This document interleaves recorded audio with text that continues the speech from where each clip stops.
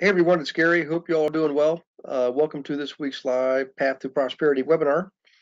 Um, tonight we're going to wrap up the this whole series on property management, which is kind of ironic because tomorrow night the special presentation it's not the, tomorrow night's not the normal weekly webinar. Um, it's on the training program that it's actually on property management tomorrow night. How about that for for coincident timing?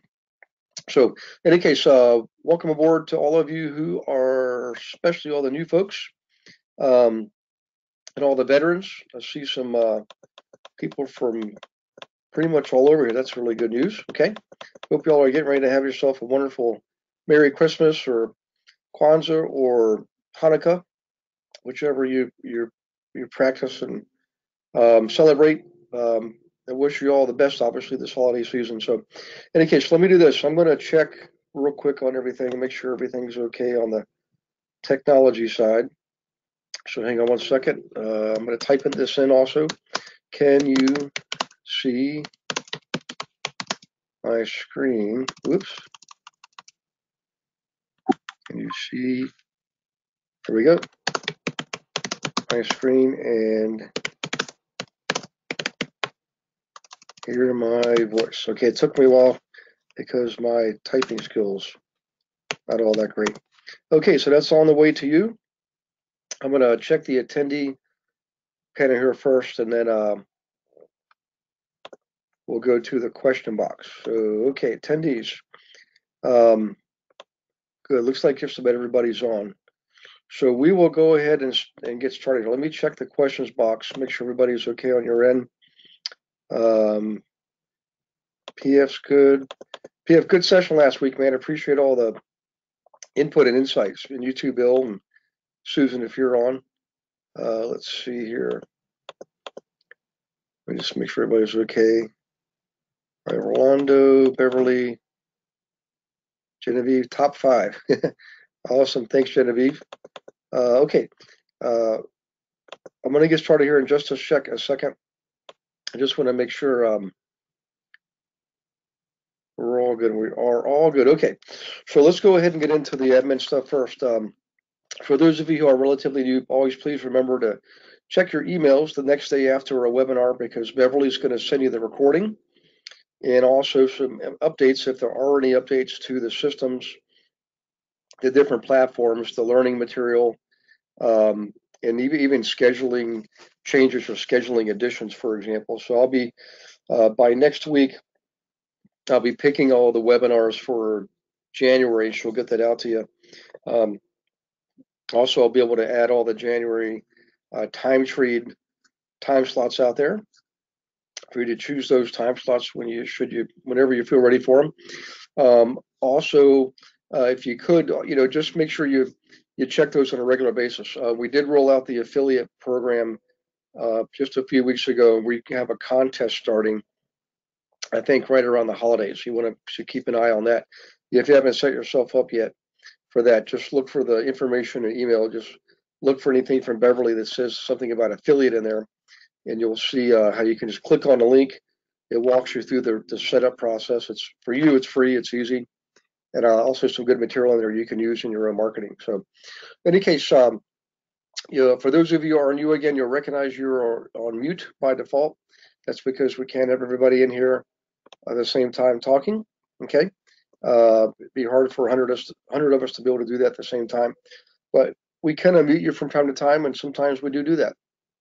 In the meantime, though, if you could use your question box for questions, that would be awesome.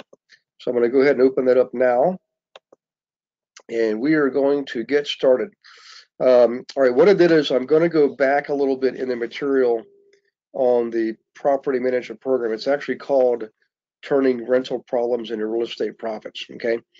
Um, because I realized we actually did not cover this. I, I was wondering last week if we had, and uh, looking back, it didn't look like we had covered this. So we'll cover this section first. Then we're going to jump to the end and go over evictions, and then we'll even go into some policies and procedures just to round things out. So you should have over the last uh, probably four, I guess this will be the fourth in this in the series, a real good idea of what it what it means to what it takes to manage yours or others' properties, right? So in any case, the first thing tonight's is uh, agenda has to do with um, people who are on a subsidy subsidy program. We have them in Canada and also in the U.S. In the U.S., they call it Section 8. Okay, Section 8 is part of the HUD or Housing Urban Development Code. Um, it was legislated through Congress years ago, and it's also also it does not apply to properties. It applies to people. Okay, so property is not necessarily Section 8, but people can be Section 8.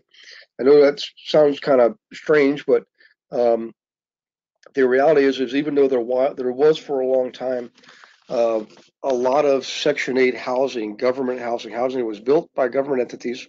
Okay, uh, most of them become become privatized or even torn down or demolished. Okay, there's still a few out there, but for the most part, the government realized it really needs to get people out into the rest of society, and that's why all the people like us were starting to get um, applications going back a generation or two ago from people who were on a Section 8 housing subsidy coming to rent one of our units in a duplex, for example, or a single family home, and they weren't all in one particular uh, development, like a housing development, like they used to be.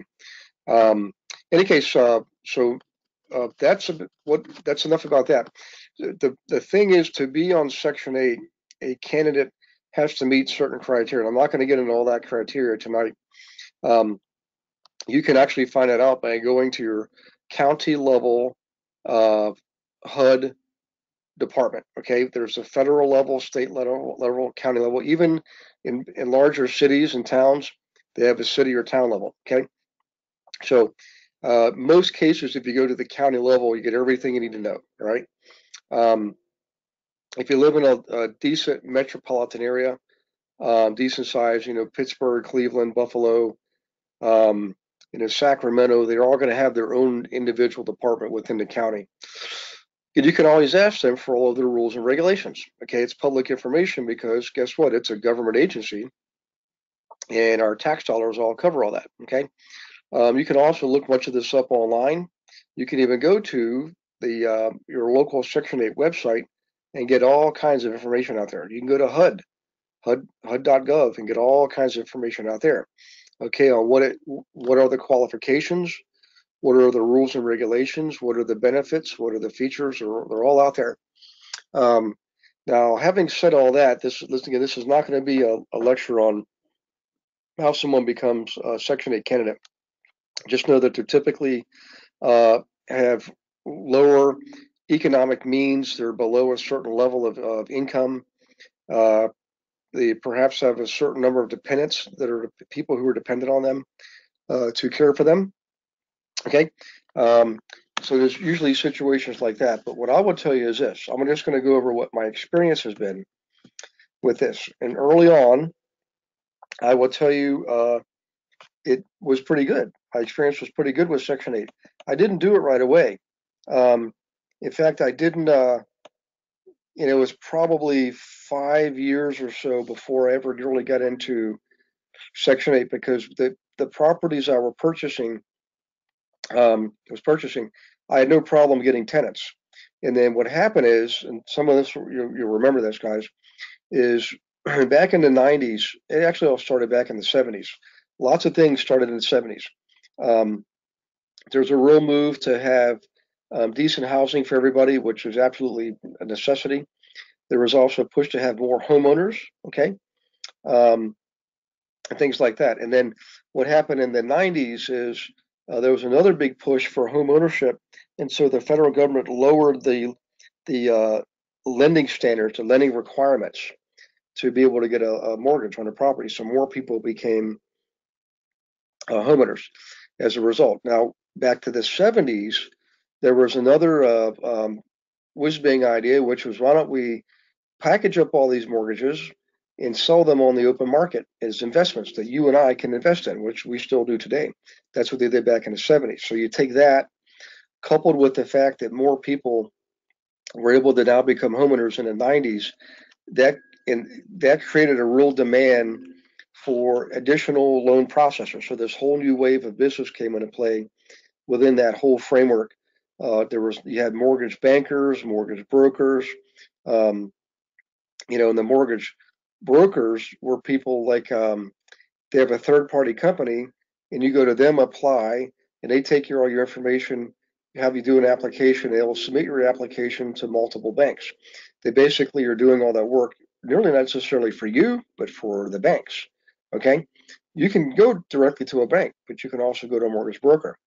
Well, what happened is the mortgage brokers, as you might imagine, were um, wherever you involve lots of money and power, greed kicks in and fraud kicks in, and that's exactly what happened. So throughout the late 90s and early 2000s, um, you remember that the tenant base was really dwindling. So as a result, I started entertaining this is what I'm getting to. This is when I started entertaining taking on Section 8 tenants. Had no intention to, it was purely accidental. I had a young couple respond to one of my ads for one of my big three bedroom units. And I said, sure, come on by, you know, come take a look.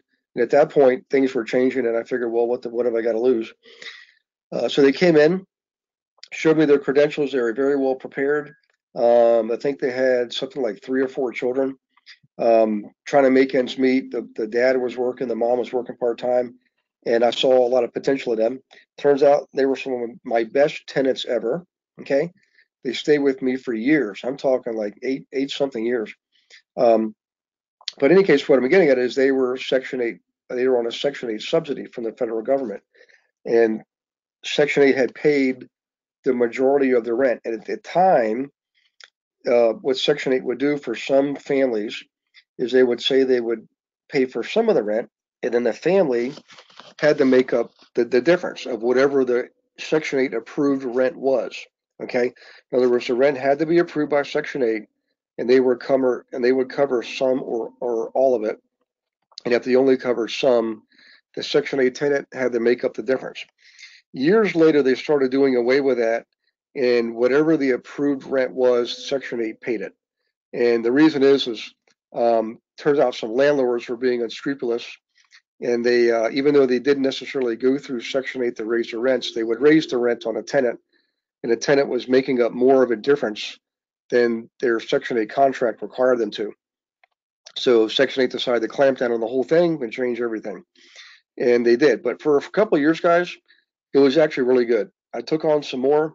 Um, I will tell you that they also had at the time, some of you may remember this, a Section 8 homeowners program that uh, was in place to encourage, and enable uh, Section 8 renters to become Section 8 owners, owners of their own homes and paying their own mortgage payment, no longer paying rent. And I participated in that. I turned over several of my properties to some of my Section 8 tenants who then became owners. They actually bought the properties. Uh, so just briefly, uh, what what happened is usually the state, some state agency would provide a grant for the deposit, and uh, banks would get would supply loans, um, provide loans for the Section 8 people that were backed up by HUD, Housing or Development. They were insured by HUD, so they really had nothing to lose. And lo and behold, this person who was once a tenant can become a proud homeowner and live part of the American dream. Um, quite a challenge, you guys might imagine, a little bit of a process to go through all the inspections. And I, what I did is, here's what I did that was unique. Obviously, I was investing, buying rentals, flipping homes, so forth and so on. So what I decided to do was, when I came across a really sweet deal on a flip, I would purchase it. Basically, put I would be the, the front person, put them, you know, purchase the property, remodel it, all the while having it under contract to, to be purchased from one of my Section 8 tenants. The difference is is I didn't charge them full retail price. I didn't charge them full ARV. I, I let them go through the Section 8 process and they would send an appraiser out and they would give me an as is, an appraisal, and a as completed or after repair value appraisal. And they were often, you know, sometimes lower than what I wanted. But the thing is, I wanted to have my tenants enjoy the benefits of owning their own home. So that was to me win-win. I, you know, paid myself a commission, paid myself a management fee, as well as got some some capital gains out of it. So at the end, every, everybody won. This person got a brand spanking new home with a yard, you know, I, it, with a mortgage payment lower than rent, by the way, and I got a sale of a property and got to make somebody happy family. So in any case, long story short is this: it was after that about that time that Section Eight uh, management changed, and what they started doing, and the government government's infinite wisdom. If you're know, if you're a government employee here, please forgive me.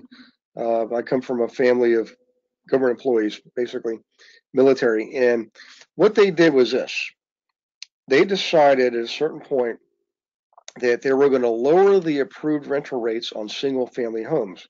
Because in their mind the tenants were having to pay not just gas and electric but water and sewage because it was a single family home. More more than that the gas and electric are often more expensive than what they would have paid in, in a in an apartment which is true. But in the government's logic they thought well then therefore they shouldn't have to pay as much rent. So they lower the approved rental rates on single family homes their logic was because the tenant had to pay more in gas and electric, the house is worth less.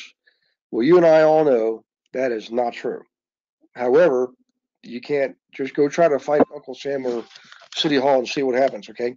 So what happened is over time, oh, and by the way, at the same time they did, they were increasing rates on the apartments, okay?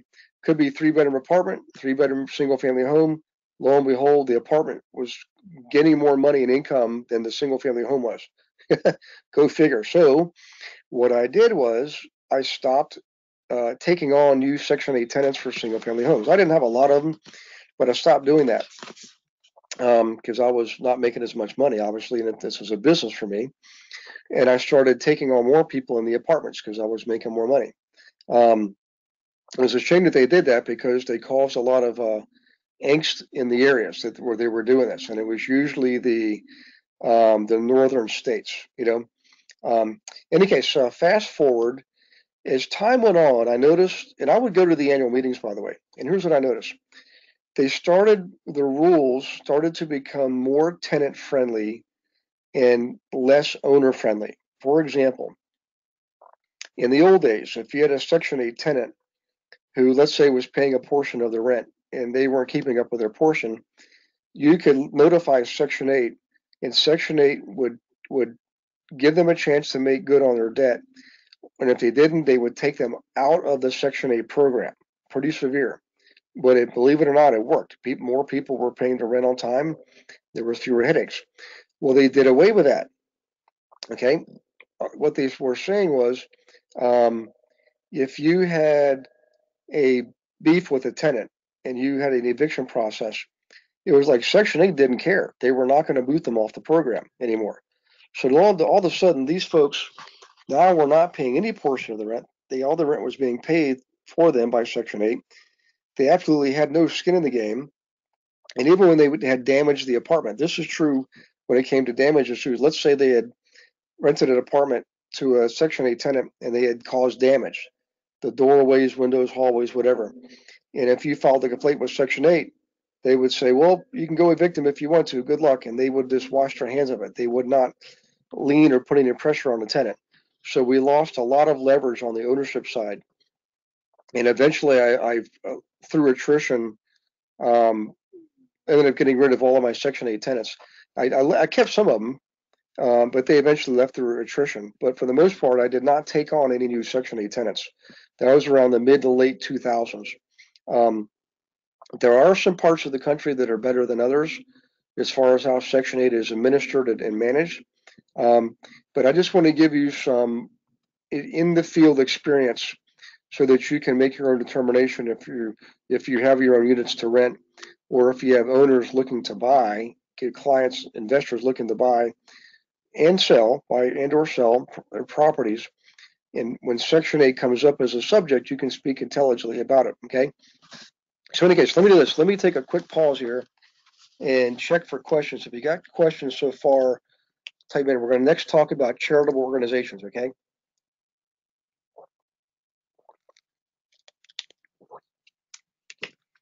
Okay, let's see here real quick. I'm almost done scanning here. Let's see. Hello. Going through all the hellos and yeses. Okay. So this is PF. PF says if you wanted to increase the rent was Section 8 different or more difficult than regular tenancy? Good question, PF. more difficult. Okay. Um, as you might imagine, I learned a lot about Section 8 over the years. I go to the annual meetings, I'd sit on the panels, voice my opinion. And here's what they would say. If you read the contracts, the fine print, it says you don't just have to notify the tenant you're going to increase the rent 60 days in advance. You have to notify Section 8 60 days in advance. Well, guess what? As you might imagine, they're about 60 days behind schedule on almost everything. It would take sometimes a month to get an inspector out there to approve to get a tenant approved for a certain unit. But in any case, um, I would submit rent increases only to the not just basically had them ignored. I would call up and say, "What's going on?" I submitted my request on time, you know, two months in advance, and they say, well, "That's not early enough." And I said, "Well, that's what your contract says." They said, "We are so far behind. We're working on the ones from six months ago." In other words, translation was PF. I should have submitted my request six months in advance. so guess what I started doing at that point? I started submitting my request. Did this every year, six months in advance. I would go down there and knock on the door and visit in person. The, the, the office, by the way, I would submit it five months in advance, four months in advance, three months in advance, just continually submit my request. And I literally one time had to go sit in the manager's office until they pulled my file and got my rent increase. And it got to be such a headache. That's one of the reasons why I essentially um, left the program because, because of that. It just, I'm not knocking them. They're just so overworked and so understaffed. There's no way they, they got bigger problems than you and I dealing dealing with you and I. You know. Um, okay. The other question. Uh, this is from Jeanette. Hi, Jeanette. Let's see. Uh, hi, hello, Gary. It's Jeanette. Uh, Section 8 has still has a program to assist tenants when to purchase a home. I believe they pay the mortgage for X number of years. If disabled, they pay it indefinitely. Yeah, I'll tell you what, Jeanette, I was um, a huge proponent of that because when I was a kid, we lived in a in a project uh, for a couple years, and you know a lot of my friends lived in homes and neighborhoods, and I thought, well, my dream when I grew up was I'm gonna, my mom's gonna have a house, okay, and boy does she have a house now. But back then, um, I didn't know what it was. We just to us that's just what was normal. Um, but I remember my mom saying things like she'll she can never own a home. It's for rich people. Blah blah blah blah blah. All this negative programming. So I'm I'm glad that the program is there. Um, I wish more people would take advantage of it. Sadly, the stats on it, Jeanette, are not that great as far as people participating in it. Um, I have no idea why. I mean, you've got this opportunity to own a piece of the American dream, and so many people don't take advantage of it. You know. Um, but thank you for sharing it. I, am glad to know that it's still around. Um, in any case, let's do this, guys. I want to move on and talk about uh, charitable organizations. And you guys can read all about this anyways. You can you know, get the book, get the training program. Um, everything is in there. You know, all the links, um, all the rules, regulations, all that stuff is in there. Even all the forms, all the policies, procedures, it's all in there. But what I want to do right now is go into charitable organizations. So, generally speaking, um, you're familiar with some of them. You know, you're like Jewish Community Center, Catholic Charities, which St. Vincent de Paul is part of. Um, let's see, um, what's another one I worked with in the past? It was uh, um, any case, uh, every city has them, every county has them. Local churches often can help out in certain situations. Um, in the beginning, I didn't know that this that they did this stuff. Right? What what, what happened with me is I had a tenant one time call up, and she said, "Mr. Wilson, I just want to inform you, um, whatever the situation was, she had lost her job or something like that." And she was distraught, and she went to seek help from a local charity that were going to call me up to go over things and they're willing to help out pay one month's rent. And I thought, well, boy, how, how wonderful is that? You know, I get to get my rent paid. I don't have to, to, to chase somebody down, go file for eviction, all of that. And this person gets a, gets a hand up uh, in the situation. Okay. So a couple things here, and I'll go over these lessons here in a bit, but I did learn one big one, which is this. You know, my philosophy was always, uh, you know, right out of the scriptures, you know, you, you give a man a fish, he eats for a day. You teach a man to fish, and he fishes for a lifetime. Well, I'm here to tell you, I'm all about teaching people how to fish so they can do for themselves but sometimes people just need a fish. okay. You know, at that moment in time, they need it. They need help right then, right there. And you've got to make a, judgment call on that. And I can tell you, you can be a good business owner, you can be a good landlord, and you can also be a compassionate person. There is a way to do it. It's case by case. I can't tell you there's a, a script to follow. Um, it's literally case by case, and you really learn to you learn a lot about human nature. Okay, one of the things I learned is this: is like this young lady who called up. She she didn't wait around. She didn't not call me. She didn't let me discover by the fifth of the month her rent wasn't in, and then me chase her down. She was proactive. So guess what? In the future, people who are proactive, I thought, have their act together. They're action takers. They're going to work it out, and I work with them the people that were not calling you and uh, ignoring you, not returning your calls and not communicating, chances are that one's going going uh, south real quick. I would also listen to the words they say. Look for certain language patterns. In other words, people who would say, "Hey, you know, yep, I lost my job, but you know what? I just got my resume updated. I sent it in the mail today to 12 different employers and I'm going to go visit them tomorrow and make, you know, that person's going to make it, right? On the other hand, if we come across a person that says, well, boy, boy, times sure are tough. I'm hoping my old rich uncle Bob will help me out. I'm going to be giving him a call. Or I, you know, I'm going to play the lottery. I hope I win a lottery. All this, you know, hoping and wishing stuff was not working out ever. People that were hoping and wishing almost never worked it out people that were taking action and had plans and specific things they could tell me and dates and times and names, I worked with them. Okay. So, in any case, um, back to the charitable organizations. Um, it turns out that when you're a good landlord and you you're able to help a tenant out or allow one of these organizations to help a tenant out, so you get paid from the organization on behalf of the tenant. Um, and you're okay with it, they'll keep your name because sometimes I have people come in there distraught because they need a place to live, or you know, a couple breaking up. It's just all kinds of situations, and they'll call up and they'll say, you know, we we have a particular client from our church. You know, we can vouch for the character. We know they're good people. Um, couple split up. The mom needs a home quickly for she and her two children. Okay, um, we'd be willing to pay their rent and deposit? Are you would you willing to do this? And I would often say yes. I would always scream and interview, interview and scream, just like any tenant. Same thing with Section 8 guys. Um, you don't change your policies and procedures when it comes to screening. Always, always screen, always interview, always screen, just like we talked about it several weeks ago. Okay. Um, in any case, uh, so that that went on for a long, long time, and there was a lot of organizations. It was amazing how um, your your name, your reputation can spread. Uh, but here's here's what I'm getting to. The big thing was this.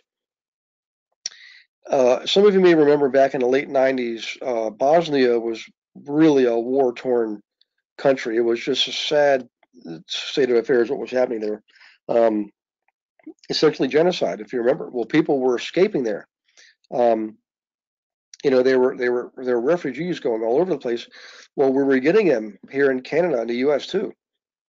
And I was approached by um, here, here's what happened. I bought a property, a duplex from a local church. The church um, didn't. It, one of their parishioners had passed away, and they bequeathed it to the church. Well, the, the realtor who had the listing was in St. Vincent de Paul Society. He was a Coldwell Banker. Austin DeSimone was his name. He's since passed away. Awesome, awesome gentleman.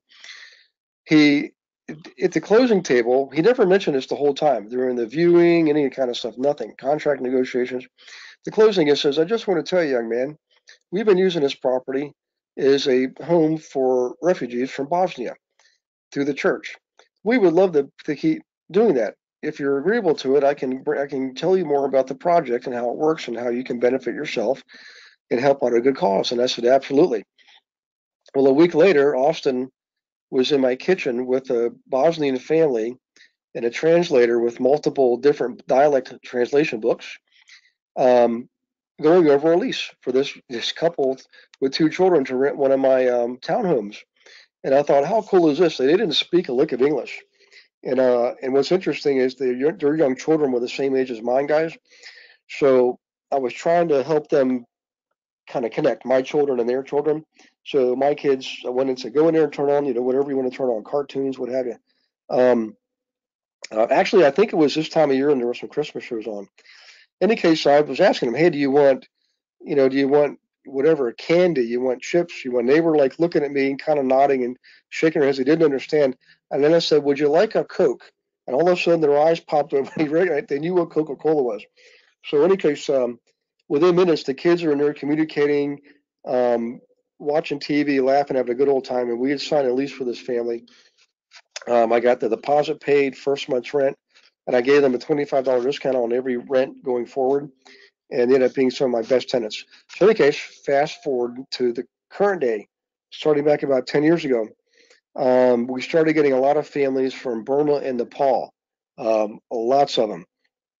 Those are sort of border provinces between India and China, and a lot of people Christianity we, Christianity was spreading really rapidly out there, and some of the people felt um, uh, unsafe or persecuted, so they came to the states, know, all, all through proper channels, um, and it came through a combined effort of Catholic Charities and Jewish Community Center, and they approached me and one of my part my partner on one of the big apartment complexes by the way, it was the, the one Bevan I like to use it as example a lot because it I did so many things with it. It was so easy to use it as a model of success for, in a number of ways. But we said yes, we will take on uh, refugee families from Jewish Community Center and Catholic Charities, and uh, we we said we would take on you know just one one at a time, one this month, one next month.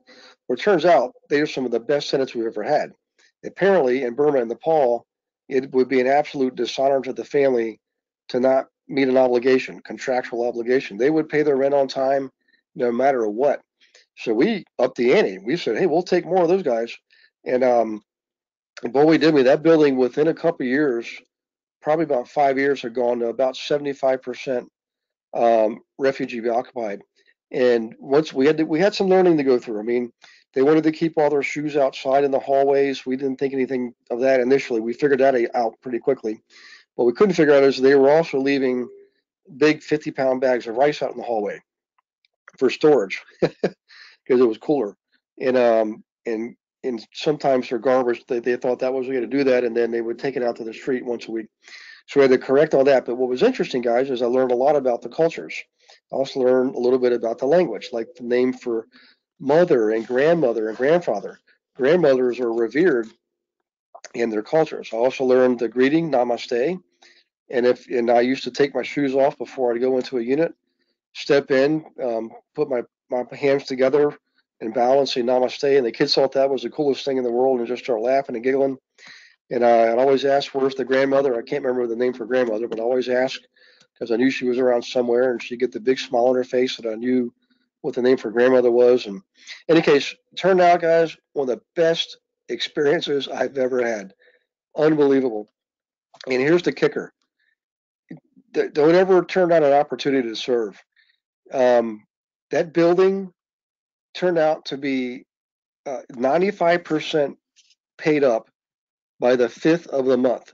That is one tremendous collection rate on any apartment building and anywhere that I've ever heard of. Um, just an amazing thing. They did a great job keeping up outdoors. Um, you know, there were language barrier problems and things like that.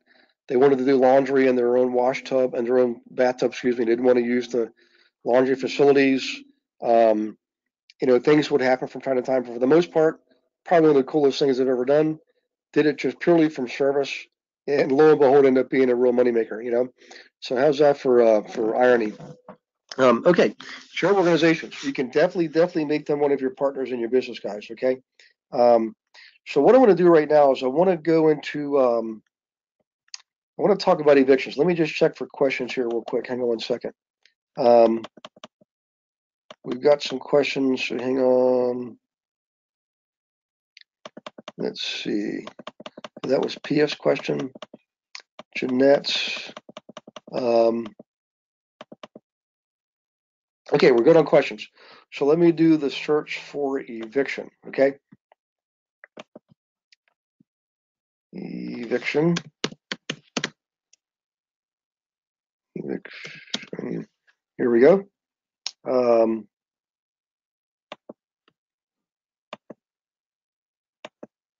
should, here we go, way down here. I'm sorry, wrong, wrong place, right subject, wrong page. Okay, here we go.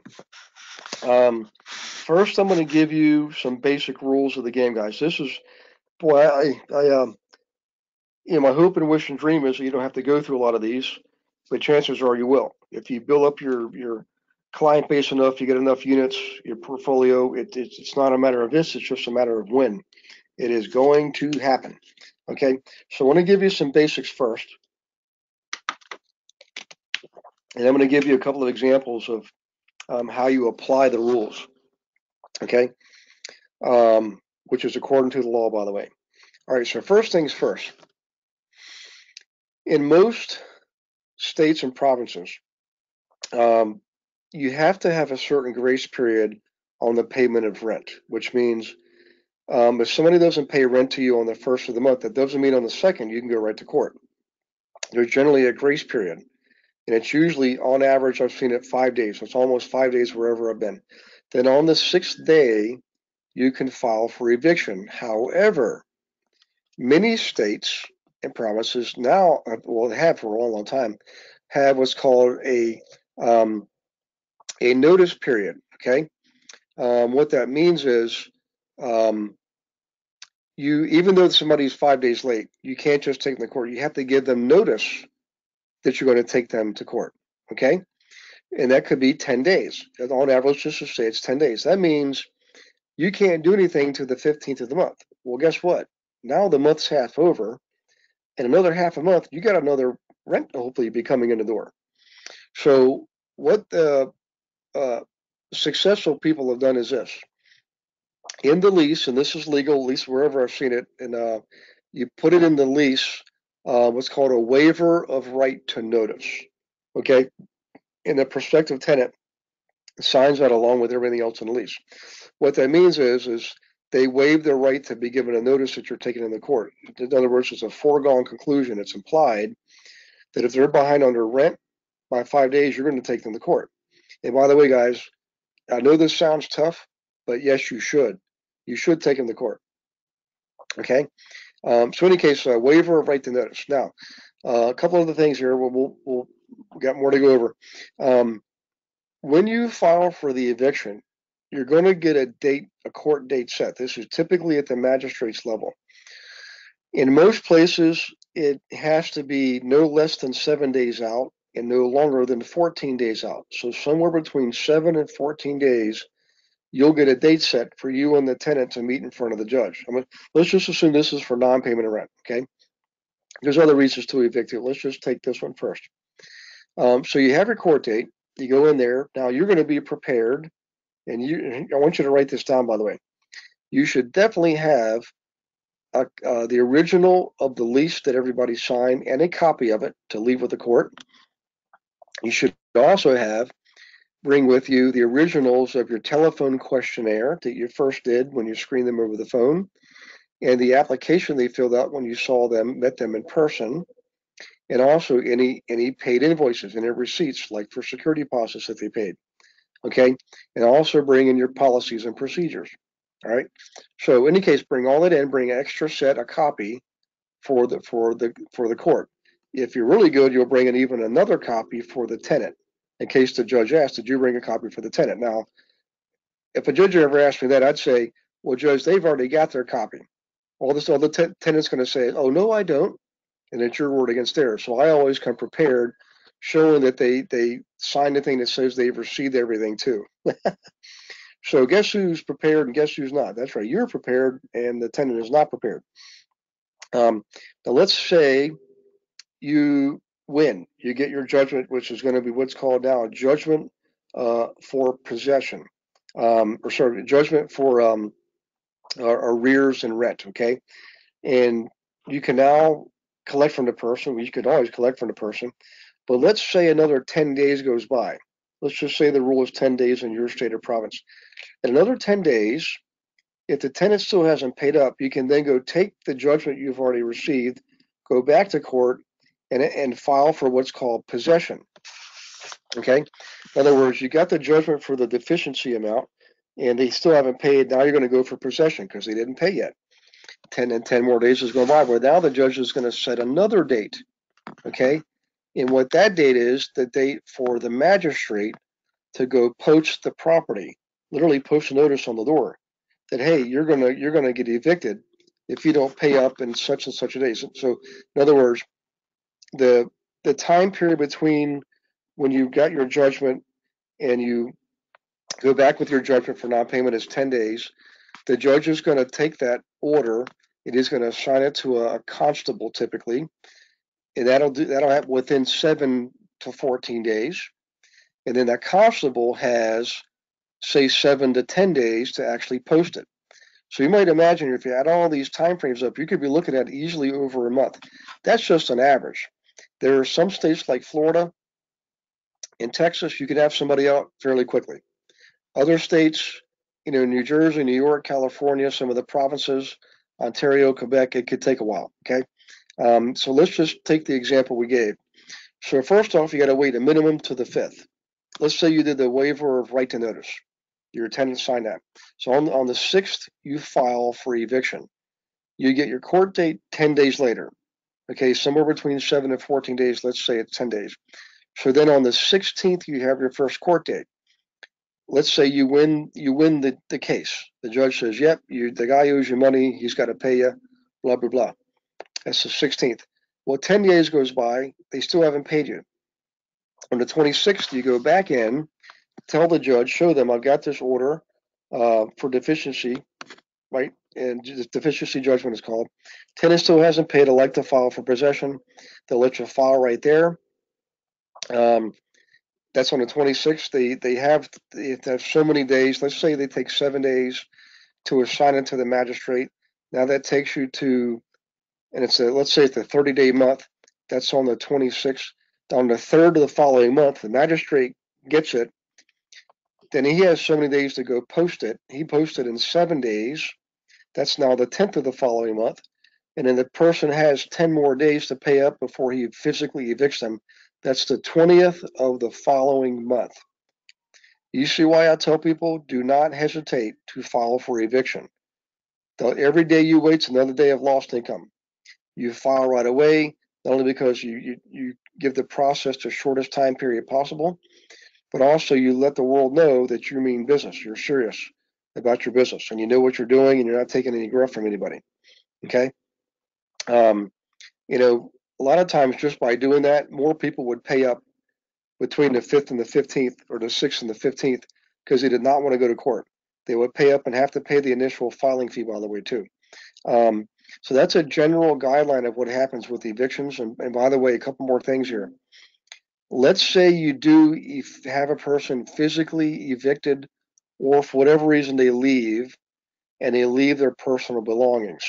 Okay there's a, a different body of law when it comes to a person's uh, personal possessions. So let's say they leave and they've left to you it looks like garbage, bags of crap and old broken down furniture and clothes that are soiled and left behind. Well, believe it or not, you can go try to throw all that stuff away, but be be very very wary because a tenant could be watching, and as soon as they see you throw everything out, they'll go to court and say, "Hey, I went to go back and get my stuff, and that, that son of a gun threw all my stuff out on the street. You will find yourself in court very quickly. Okay, what there, the, unfortunately, the body of law on this particular component here, personal items, personal articles, is not very clear. It's different from state to state, province to province, and different judges will interpret it differently. Usually, what it says is you have to exercise reasonable care for another person's belongings for a reasonable period of time. Well, what the heck does that mean? Well, I've had judges tell me, well, that means seven days. I've had other judges tell me, well, that means 30 days. I've had other judges tell me, well, that means if you want to get your apartment back, you got to take that stuff, put it in storage, which means you got to pay for storage, keep it for 30 days, and and if they still don't come and get it, then you can do whatever you want with it. Okay. Um, that's a lot of baloney if you ask me, but that's what I, am just telling you. You got to find out how your your particular judge in your area, your magistrate, views this matter. As I know a lot of owners who didn't know this, and they would go throw stuff out, only to call me up later and say, "Hey, Gary, I followed the eviction process, and that son of a gun took me to court because I threw his crap out on the street." well, consider this your your warning. But uh, the bottom line is, here's what I would do: I would take all their stuff, take it to a part of the house that isn't really necessary. Maybe there's a garage, maybe there's a basement, uh, whatever. You know, at a minimum, I would take it on the back deck in boxes and make sure the whole thing is covered out, covered under a tarp. I, that would be only the last resort. Generally speaking, I keep it in the basement. Um, and I would tell them they got, you know, 10 days to come get it, whatever. If they don't, I'm going to take it out. And I would make a copy of it and, and uh, keep that with my records. Um, any case, uh, let me bring your panel back over, guys, so I can see if you got any questions on eviction so far.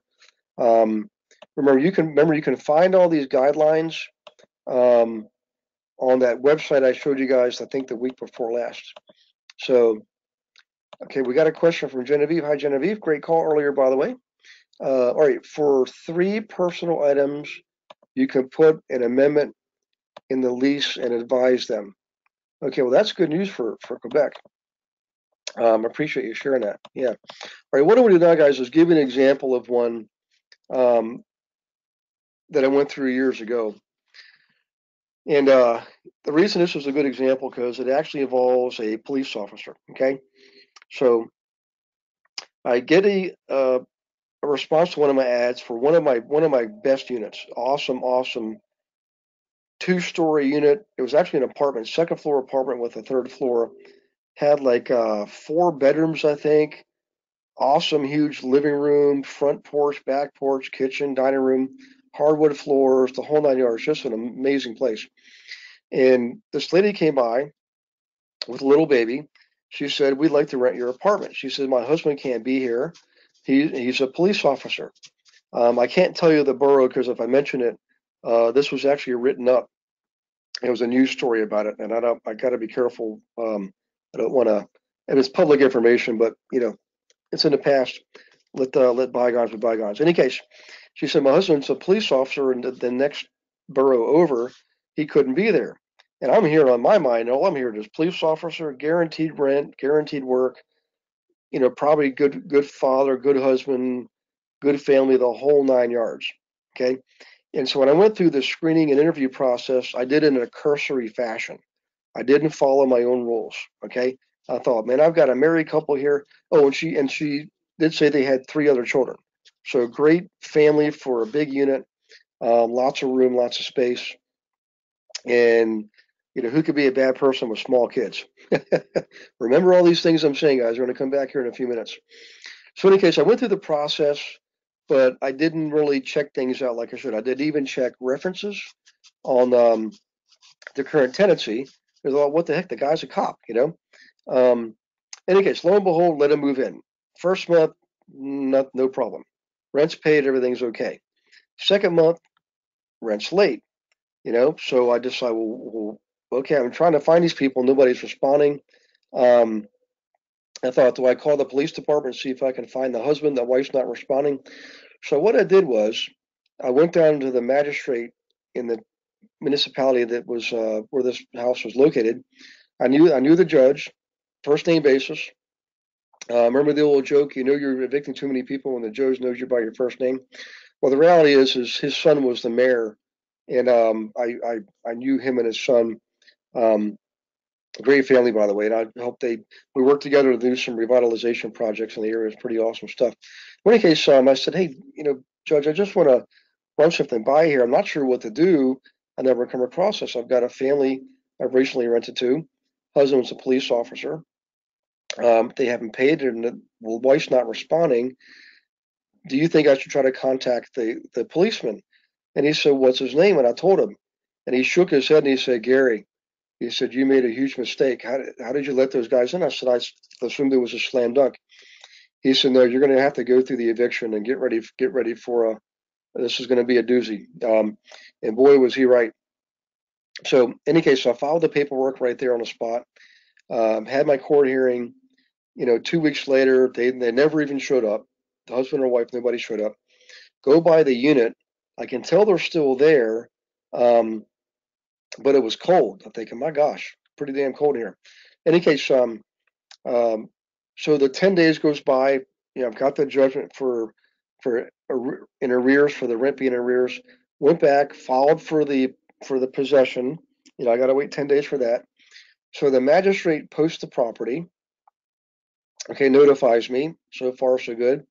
Then he calls up and he says, Well, we've got to go do the physical eviction. Nobody's responding. Can you meet me there? Bring a locksmith to change the locks. So I said, Sure, no problem. I was shocked. I just didn't know. I thought they'd be gone. That's what I thought. I thought they'd be gone. So I had one of the handyman meet me there with a new set of locks and bolts and everything. Get to the back door. The teenage daughter opens up and she's holding the little baby and they're wrapped up in wearing coats wrapped up in blankets and i said you know would you mind if we come in and your parents are she said no we haven't seen them. And i said excuse me? She said we haven't seen them for a couple days. So we go inside magistrate me and the handyman. And i realized at that point the heat's been turned off okay? Um, thank goodness the electricity was on okay? But uh, heat was off the kids were freezing. And i said listen the, the constable i said we can't we can't go forward with this. We're not going to kick out minors. And he said, well, I, he said, I wouldn't do it anyways. And I said, so I said, can you, can you get your cell phone, young lady? We need to start calling. She said, I don't have a phone. I said, you're going to take my phone. And once you start calling any phone number you can remember. She said, well, who should I call? I said, just call anybody. Uh, aunt, uncle, grandparent, old neighbor, friend, relative, somebody from school, somebody from church, anybody. The only person she could remember was her prior landlord. So she called the prior landlord, and the guy pulls up about 20 minutes later with a big giant van. Thank goodness we had a big van. Walks upstairs, looks at the constable, looks at me, and says, What kind of America is it when we kick out children on the street? And I said, Well, what kind of America is it when parents abandon their children in a situation like this? I said, We're not kicking them out. You came here to get them. You know, we didn't know what we were going to do next. We weren't going to leave them, but we figured we'd rather have somebody know them take them, than take them down to the court and have them get processed through um, children these services. So in any case, uh, um, he took the kids. Um, we changed the locks. and ended up being a very huge lesson for me, which is always actually. Let me ask you guys what you think the lesson is. What lesson? What's the biggest lesson I learned in that whole experience? And it goes back to the very first class we had on this subject. So I'm gonna let you guys take a second to type in your responses and see uh, see what responses I get. And don't worry about being right or wrong. I just want to see your response. What do you think the biggest lesson is I learned here? Or better put, what did I what did I do not do that I should have done? Um, let's see, they're starting to pour in. And and tell me tell me tell me like you see it, guys. Don't be don't be kind because I'm the teacher. Tell me, hit me over the head. I mean, I've never done this again, obviously, but this is Jeanette. Yeah, Jeanette, spot on. I didn't go through the screening and interview process like I should have. I went through in a cursory fashion, cutting corners, taking shortcuts, thinking I got a slam dunk, right? And boy, was I wrong. If I had simply gone through the process, run the entire report, got the criminal background, which is public records, credit, you know, job history, their living history, their housing history, excuse me, um, Oh, would have been able to piece it together. All right. Oddly enough, though, guys, the police officer had his job, kept it for a while. What happened is he finally lost his job. Um, I'll just tell you what happened. I didn't mention any names. I was pretty careful that. He got addicted to crack. If you can imagine a police officer getting addicted to crack, well, he did. Okay, and eventually lost his job, and um, that was the end of it all. Um, yeah, thanks, Genevieve. Didn't do due diligence. Yeah, diligent implementation of background check, that was Rolando. You're right, Rolando. Yep. Um, verify info. info. Yep, Helene. You're right. Uh, follow your protocol, Gary. That's right. to get the best tenants. Um, uh, lesson is that every tenant goes through the exact same screening. Boy, Bill, you hit the nail on the head, man. You know, I I could have been in more trouble, you know, because I didn't treat them the same way I treated everybody else in the in the process. I didn't follow my policies and procedures. Um, you're exactly, exactly right. Um, Yeah, Beverly says trust no tenant, no matter what, without thorough screening. That's right. Doug Doug Carroll, never assume. Hey Doug, you're probably getting a good lesson on this one. I know that we're looking at some big properties for you, but um, you know, we're gonna do we're gonna do, Doug, is help you actually locate the right kind of property management company. We'll, we'll ask to see their policies and procedures and and all of that because we want to see data. We want to see data, right? Um, but I got to tell you guys, one of the biggest lessons I ever learned um, is to if you got policies and procedures, just follow them. You know, never ever take a shortcut.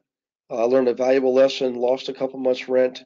Um, you know, that the thing was written up. It was on the news, and not that I was paying to be. I wasn't paying to be a bad guy at all. That's not what I'm saying. But I, I didn't. I didn't want to be in the news for something like that. I wanted to be in the news for like helping people Section 8 tenants buy homes. Um, and I certainly didn't want to uh, tarnish the rep, you know, have those the troll, the name, the family name, all that stuff. There was other articles about the thing about the guy, anyways. But but just um, I appreciate your responses on that. Um, in any case, guys, I'm going to try to wrap this up because that was that took that took the entire session. I hope this really helped you guys. Um, I, w- I probably should end this off on a good note though. Um, in fact, I'll tell you. I'll tell you. Let me tell you another another good one here. All right, and then we'll wrap things up. We got a few minutes. Um, I want to. I want to end on a positive note, not a negative note. Um, years ago, in 2004 to be exact, this was in Western Pennsylvania, where I had probably more than half of my properties, anyways. A series of hurricanes had come through the area, remnants of hurricanes. By the time they got up there, they really still weren't hurricanes. They were like tropical storms, you know crossing through the area twice in like a 10 day period. The second one completely flooded the area. It was amazing. I had properties underwater. Um, it was just a crazy, crazy time. I'd actually have flown out to Chicago that Friday evening, knowing we expected about an inch of rain. My my wife at the time, she's now my ex. This was year, years ago. We're going on a little bit of a honeymoon trip. We get to Chicago. I see on the news a flash Western Pennsylvania under severe flooding, um, neighborhoods under you know one whole eight feet of water. I'm like, what is going on here? And my phone rang, and it was one of my uh, workers. He said, "Hey, Gare, you better turn on the news. It looks like your property across from the Blarney Stones underwater." I'm like, what is he talking about? It was a guy named Roger, a guy who worked for me. So I, I couldn't see anything on the news because it was Chicago. They just was a blip on the on the screen for them but I, I thankfully I knew the tenants in the property. I called one of them, couldn't get her phone to ring or answer, and I remembered she worked at a local restaurant further about 20 minutes away up the road. Called the restaurant right away. The guy hangs up. Call back. I said, "Don't hang up. I'm calling from Chicago. One of my tenants works for you, um, Jennifer, and she lives in one of my units in Etna." And he said, "Etna." Etna's gone. He said, Etna's, Etna's underwater and I gotta go. Water's coming in the back. And he hung up again. like now I'm like distraught. So how much do you think we enjoyed our honeymoon? I mean, I'm sorry, our anniversary weekend that weekend. All weekend long, I'm just like stressed out. So we flew back Sunday, guys, and flying over the farms and the rivers for miles. Farms were flooded, boats were up in yards. It was just absolute mayhem. We crossed over what's called the Three Rivers in Pittsburgh, the point there were huge 40 50 60 foot yachts and houseboats up in the fountain in the in the point. I mean it's just amazing. So the next day monday morning i get up and my thought is i'm going to go in there we're going to get these properties cleaned out fixed up get them back in the market. Um, and i thought to myself take the deeds just this intuitive flash i, I call it a, a, a god wink god telling me you know literally i had no reason to think this or, or, or even do it I just got the message and did it. Then goodness I got down there. And the National Guard was here, blocking all access to the area, the first area I went to, because it was completely underwater. Silt was everywhere, um, and they were only letting in um, emergency workers, you know, like FEMA workers, things like that. And uh, I actually don't think FEMA existed yet, but um, uh, I think George Bush created that out of this whole thing. But basically, Salvation Army, National Guard, and homeowners who could prove they live there. Well, think about it. Most homeowners do not leave their house and grab their deed. They're grabbing their dog and their cat and their children. So I show up with all my deeds. I say, well, I, I don't live here, but I have all the deeds to my properties. They let me in. And my four wheel drive truck was sliding around like it was on ice. Okay. And I get in there and there's people cleaning up like little old ladies cleaning up hundred year old photos of their parents' babies' pictures, wiping them off. Everything was turned off. Electric turned off, gas turned off, water turned off. No utilities, no services, no nothing. Okay. And my idea of, of you know, fixing the places up and getting them back and ready was out the window. At that point, I just started helping people get stuff out of the houses, out into the yards, on the porches, so they could be sifted through and cleaned off. We did that for three days. I met a lot of my children's teachers because they were not teaching. School was out. There was no school. You couldn't have school because the kids couldn't clean up anywhere. And they were I got to meet a lot of my parents' teachers. Thank goodness they had good things to say about my kids. but they were hauling out like from basements, refrigerators, stoves, all this whole stuff, cleaning out basements, just volunteering their precious time. And I would help them. About the third day, it became really painful, guys. I mean, ministers were there trying to minister to people, and then people were crying. It was just hardened, hardened veteran workers. I mean, Salvation Army, National Guard, and in tears. You know, it was just it was that bad. And I every night I'd, I'd I'd call my wife on the cell phone and say, "Honey, I'm gonna stay as late as I can um, till the sun goes down. There's nothing more we can do when the sun goes down. These people just need help." Here's what I'm getting at. We eventually got everything fixed up and cleaned up and and uh and and put back into service. And I only lost one tenant out of that whole deal. Everyone came back because they said it's not because I had the best property like that. It's because I stayed with them till the bitter end, and I helped them personally.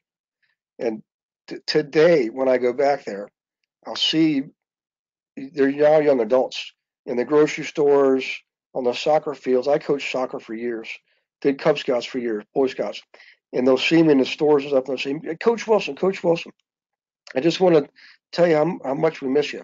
You know, I would get Christmas cards, Kwanzaa cards for years from those people. Okay, the point is this is um, you can be a good, successful, profitable business person, okay, and you can be a compassionate human being at the same time. The answer is you can be both. I can't tell you there's a script to follow. What I can tell you is is follow your heart, okay, and always look for the clues, look for the signs, look for the word, listen to the words, um, and serve first. We call it prosperity through service. Serve first, and you shall prosper as a result. Um, and I will tell you what's interesting, guys.